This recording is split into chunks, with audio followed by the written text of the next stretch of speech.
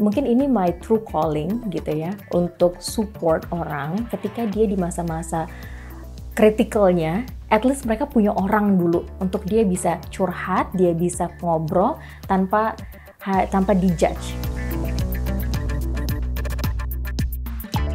Di saat kita bicara tentang pelecehan seksual, orang selalu berpikir bahwa oh you have to act certain way so you don't get harassed.